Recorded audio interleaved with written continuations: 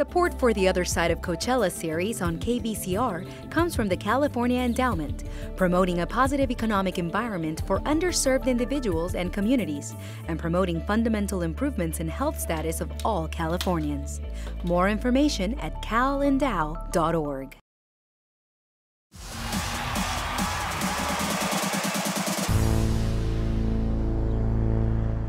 Hi, I'm Paulina Rojas, Program Associate and reporter for Coachella Unincorporated. The Eastern Coachella Valley is a rural area located in Riverside County. This area is made up of four unincorporated communities and the city of Coachella. The Eastern Coachella Valley has a long history of robust agricultural production. The rural area, known for having rich soil and warm climate year-round, produces approximately $600 million in agricultural products a year. Yet families who reside and work in this area face several challenges like access to reliable transportation, educational opportunities, and healthcare. Despite these challenges, community members remain resilient and determined to bring positive change to their community. In this show, we'll learn more about the issues and community members of this area. For years, parents, students, and community organizations have advocated for the implementation of restorative justice in Eastern Coachella Valley Public Schools. Restorative justice is meant to help students feel safer at school and help parents have an opportunity to support their child's academic well-being. We'll hear from students and staff at Bobby Duke Middle School in Coachella, a school that implemented restorative justice last year thanks to efforts by local parents. There are times for punishment and then there's time for discipline. And so through restorative justice, through our efforts, through our circles, we're looking to see what works best here for Bobby Duke and our students. Remember, whatever happens in the circle or whatever you say stays in the circle. Um, you're not going to be made fun of, um, but this is a good time. Like if you're nervous or you have some concerns about high school, just by creating a safe environment where the kids know that they're respected and loved and they come um, not only to learning, but they're having a good time. And also, you guys are like a, a family now, right? Woohoo! Oftentimes, infractions result in suspension from school, which means lost time from school, uh, you know, reduced instructional time, and the students have a fewer chance of academic success. So restorative justice is an alternative to that. It's really just a lot of common sense, teaching social skills, dealing with people like you would want to be dealt with, looking at not just actions, but also looking at a person's intentions, really taking opportunities where people make mistakes as opportunities to learn um, and to grow.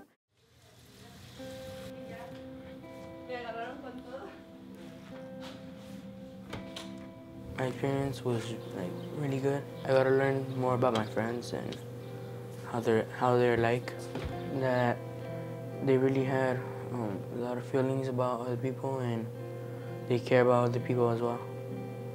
It made, it made me feel more safe from with my friends. So now that I'm in middle school, I would like to be a part of another circle to share my feelings and everything that's happening. Yo decía, ¿por qué no hay un lugar para nosotros los padres? Entonces cuando yo conocí todo este movimiento fue que dije yo, pues aquí es un lugar para mí porque tal vez esas cosas ya pasaron antes en la vida de mis hijos, pero esto es como una prevención para que no sigan pasándole ni a ellos ni a otros niños también. I'm just really impressed with our parent community that they would advocate so hard to bring us something that, you know, is such a great benefit. Se formó el piloto y el director estuvo de acuerdo, nos apoyó, se entrenaron a 10 maestros y ellos estaban encantados con justicia restaurativa. This is a whole different paradigm shift in terms of how as administrators, educators, we deal with behavior, but more importantly, the growth in the students. And if they feel they have this as an avenue at their school, um, it can make a huge difference for their lives going forward for sure. Restorative justice has helped me by like being able to cooperate better, listen better, talk better, and even get my grades up. It's helped me be more productive in school and actually stay in school instead of being suspended. When there's a conflict, you could resolve it um, by speaking to each other and maybe end up being friends. I could say what's on my mind and speak my mind without being judged. More schools should have it. Now we're looking at expanding our efforts to the middle schools and hopefully into the elementaries as well as, well as the high schools. Due to the positive impact restorative justice has had on Bobby Duke Middle School, more schools in the Coachella Valley Unified School District are asking for training opportunities for their staff and teachers. Building Healthy Communities Coachella Valley and their partner organizations are planning to continue providing training for more and more teachers in the Eastern Coachella Valley.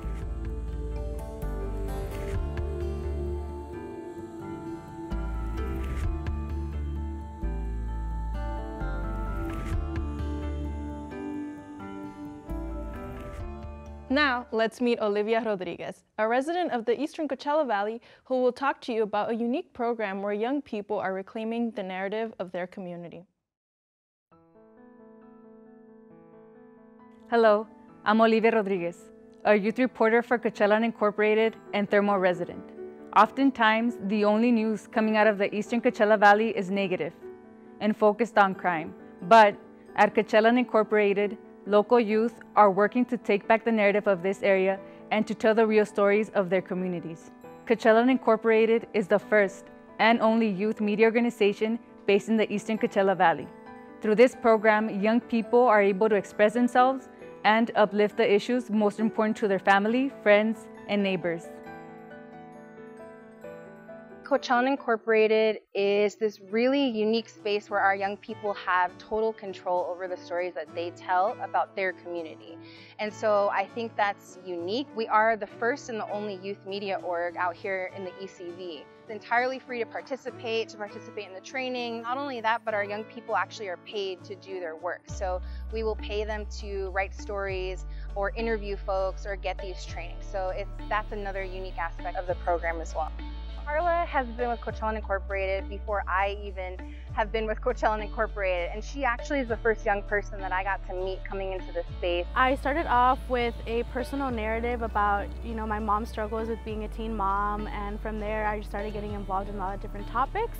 And towards the end, when I got involved with uh, Lupa, I started really reporting on my community and getting to know, you know, what we struggle with, but also what we have to offer. Really empowered me to want to go to school and get educated and be able to come back and better my community. I actually met Alondra because she was organizing with a different group and I got to see the amazing work that she was doing in the community. When I first joined, one of my intentions was to learn to become a better writer and speaker and I was able to achieve that. Um, as a reporter and interviewer, you are like kind of pushed to talk to new people and others and I was able to encounter those type of situations. Lupe is one of our new youth. I got to meet her this year and right off the bat, she had such a strong voice for writing. She has such a way with really illustrating on paper through words her community, her neighbors, her teachers, her siblings. She does it so naturally that all of her stuff is just a joy to read. Coachella Incorporated helped me gain confidence in my writing um, just acknowledging that it was okay to publish my work and then acknowledging that there was problems in my community. Just I was never outspoken about it. I just accepted them before, but now I feel like I have a voice and that I can be heard and I have a right to share my experience. They consistently inspire me every single day that we get to meet with just their passion for the community, but their fearlessness as well. If we're doing something new, they're not afraid. They want to jump in, they want to do it. And I love that about all of our students. They want to tell stories from their community and they just want to make our community a better place for everyone. The youth of Coachella Incorporated feel that the program has improved their lives. They are able to share their experiences living in the Eastern Coachella Valley. Their unique perspectives as youth continue to change the way other media organizations portray their community.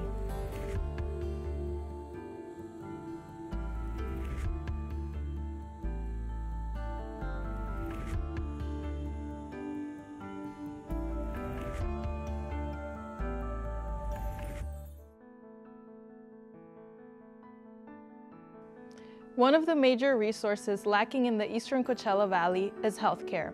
While the area has a few community clinics, the closest hospital can be up to an hour away for some. Let's take a look at one woman's journey to get access to healthcare. Híjole, este pueblo del Valle de Coachella es bien trabajador. La gente es bien noble, la gente es muy humanitaria. Para mí era muy difícil cuando no tenía seguro médico. Y yo estoy segura que que la comunidad completa batalla con todo esto, porque cuando te dan medical de emergencia o restringido, solamente es para ir a la emergencia, un dolor o, o algo grave, no es para cuidar tu salud. Yo no podía ir al dentista, no podía ir al oculista, y no es porque tú no quieras, sino porque piensas en el gasto que va a venir. Por decirlo, yo con, con la diabetes se me vino el problema de, la salud de mi boca y las aseguranzas lo llaman que es estético. Entonces es muy caro, por decirlo a mí, para cubrirme un puente de cinco unidades era 10 mil dólares. Y 10 mil dólares aquí casi era lo que mi esposo ganaba al año. Entonces eso para mí fue muy frustrante y yo sé que muchas personas en la comunidad están batallando con eso In the perfect world, I think we have to fix the healthcare cost. I think once you fix that, you can insure a lot more people. We're all concerned about cost of medical care. One of our local MAs works right here, had a gallbladder condition. Uh, we couldn't uh, use her personal health insurance, so she had to go across the border to get the. Una de las consecuencias de no tener dinero para cuidar tu salud o no tener una aseguranza médica para cuidar tu salud es de que vas descuidándote. En mi casa, en primer lugar, que haya que comer. Y la salud ahí vendrá después. Y no es desidia, es necesidad de cubrir primeramente tus necesidades. We help them in an array of issues, not only enrolling, with their healthcare and dental needs, but also with their basic needs. I think one of the things that I recommend for the community is to always be informed, to keep informed, to ask questions and not to be afraid. Hace años aquí no escuchabas a la gente hablar de salud, de derechos laborales, de nada, pero ahora hay organizaciones que han estado trabajando juntas, que se han unido, que han hecho alianza y eso nos ha ayudado a traer no nomás aseguranzas médicas, sino también a traer más trabajos y también a traer educación sobre lo que son derechos laborales. As you saw, it can be very difficult for those in the Eastern Coachella Valley to access what many would consider to be basic health care. Many in this community are forced to cross into Mexico for treatment because the cost of health services are so high. Local community organizations plan to continue partnering to make access to healthcare more accessible and affordable for the residents of the Eastern Coachella Valley in the coming years.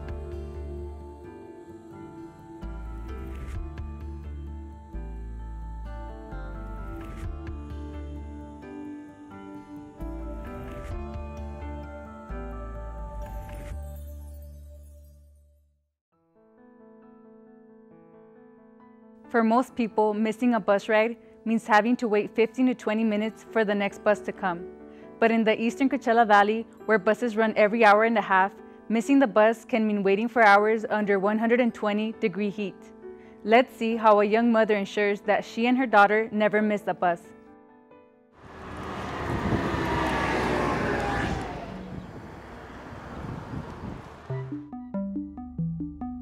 A day in my life would usually start around I'd say 5.30 to wake up my daughter to get us ready to take the bus by 6.30 and walk to the bus. The one we're walking to right now is the closest one. If I, if I carry her, it'd be a little faster. But if I let her walk on her own, she, she likes to take her time and look around. Corey, we're gonna miss the bus. Come on, let's go. You want me to carry you? Oh. oh. All right, let's go.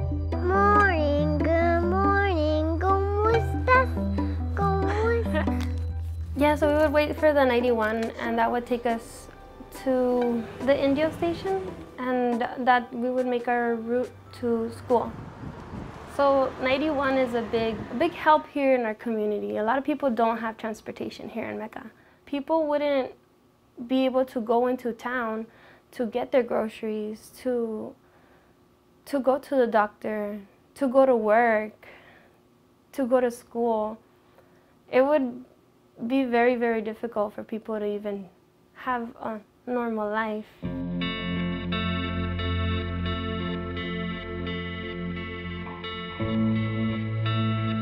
So in my area, on the bus line 91, it comes every hour and a half.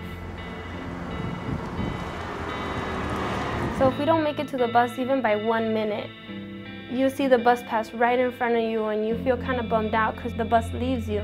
I noticed that the, in the west side, the buses come every so often, every 20 minutes, every 30 minutes. But if we have to go somewhere, we'll make that struggle. Are you gonna pull the string right now? Yeah? There's no transportation, and people would make that even greater struggle to get to what they, where they have to go. My goal as a woman is to become educated and empower myself through education so that way my daughter could look up to me.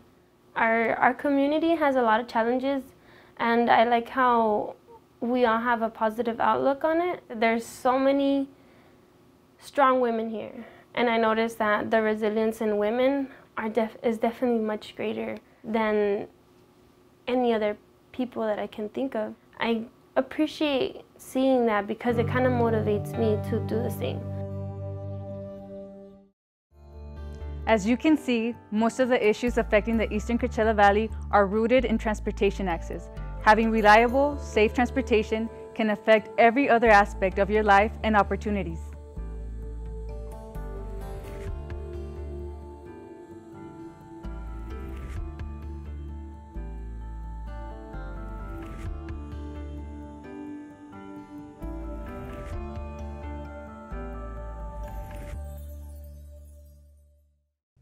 In this next segment, we'll learn about the environmental justice issues affecting the Eastern Coachella Valley. Though the area has a history of advocating for farm worker rights, there's a new generation of community members working to make sure their community has safe public spaces, paved roads, and better air quality. Let's see how community members are advocating for this rural area next to the Salton Sea.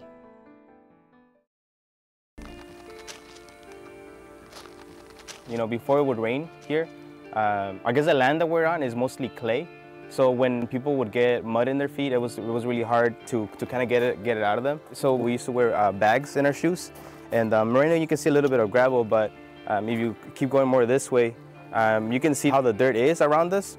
So once that dirt gets um, wet, it creates about three to four inches of, of clay on your shoes. Cars would get stuck, so even, even when public transportation wouldn't come in here, because um, now they do thanks to the, uh, thanks to the asphalt, um, we had to go out into the exits, maybe like four minutes driving.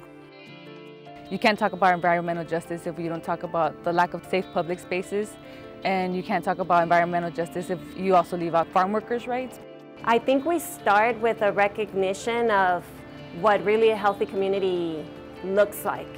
There are vulnerable populations that are being left out of environmental protections. And our health is a result of what is surrounding us.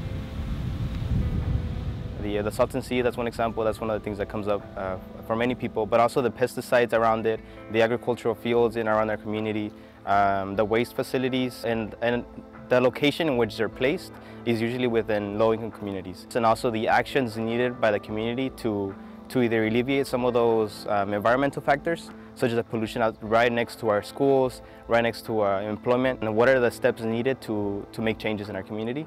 When we talk about the environment, we're talking about much more than only the natural environment. And I think uh, when people realize that, we probably are moving a lot closer to being able to find uh, solutions.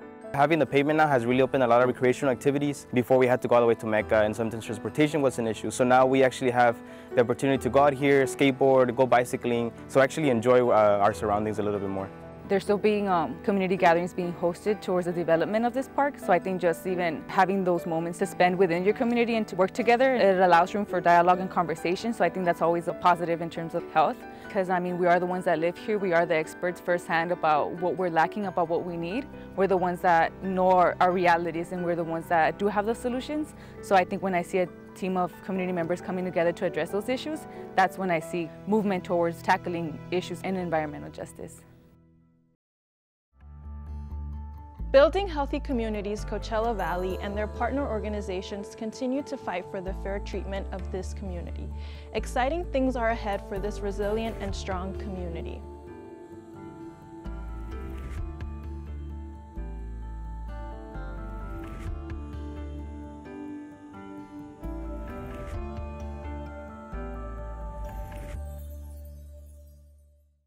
Today we learned about some of the most important issues facing the Eastern Coachella Valley, like environmental justice and access to reliable transportation.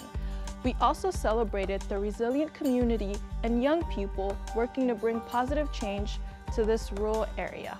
For more information on issues discussed in this show, visit these websites.